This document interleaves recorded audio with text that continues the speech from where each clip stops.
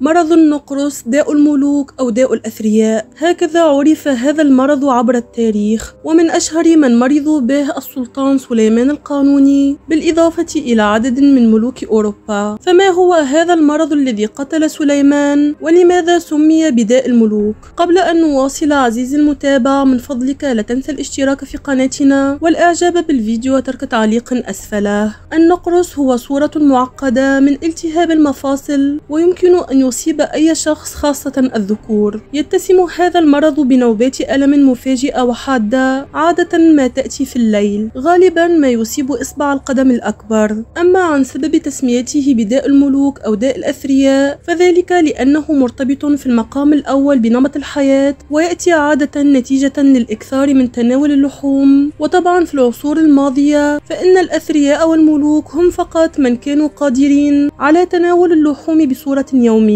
ولقد كانت أول حالة موثقة من المرض في مصر الفرعونية وذلك في سنة 2640 قبل الميلاد حيث وصف بالتهاب مفصل إصبع القدم الكبير. كما يعتبر أبو قراط المعروف بأبو الطب والذي عاش في القرن الخامس قبل الميلاد هو أول من اكتشف هذا المرض وعرفه باسم مرض عدم القدرة على المشي. ومن الطريف أن هرمز قد أورد في علاجه أن الجلوس على جلد الأسد يذهب البواسير والنقرس. وكما أسلفنا فإن أشهر من أصيب به السلطان العثماني سليمان القانوني وعندما اشتد عليه مرضه لم يبالي بنصيحة طبيبه وخرج على رأس جيشه لحصار مدينة سكتوار المجرية ولقد خلده التاريخ بعبارة عظيمة عندما قال أحب أن أموت غازيا في سبيل الله جدير بالذكر أن مرض النقرس قد يتطور إلى التهابات تصل إلى القلب وعندها يتسبب في الموت كما حدث مع سليمان القانوني. هذا السلطان الذي هزم الجميع.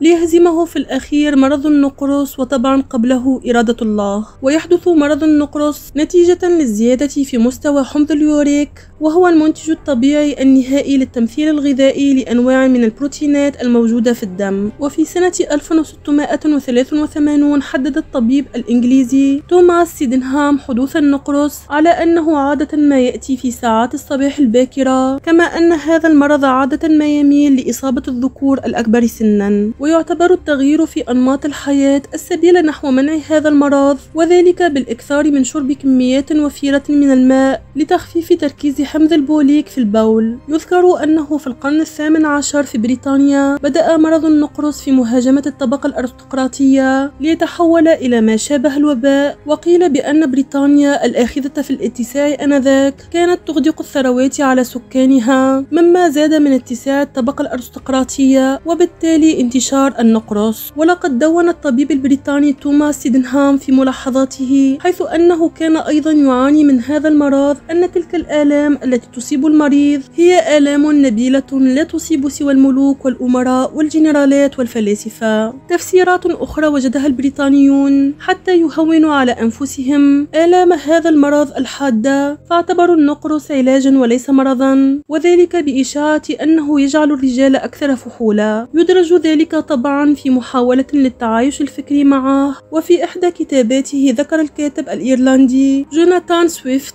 بأن مرض النقرس يمنح صاحبه الفرح والعمر المديد ويعطيه قوة جنسية كبرى. وبهذه الطريقة تحول هذا المرض من سقم مؤلم قاتل في أذهان المرضى إلى وباء شاعري أنيق مرتبط بالملوك والنبلاء. كل هذا فعله مرض الملوك النقرس في أجساد ونفسيات مرضاه. أردنا أن نتحدث عن تاريخ هذا المرض المرتبط بالملوك والأثرياء. أتمنى أن يكون هذا الفيديو قد أفادكم وإلى اللقاء في فيديوهات أخرى. تحياتي أنا فردوس حافظ الرشيد. إلى اللقاء.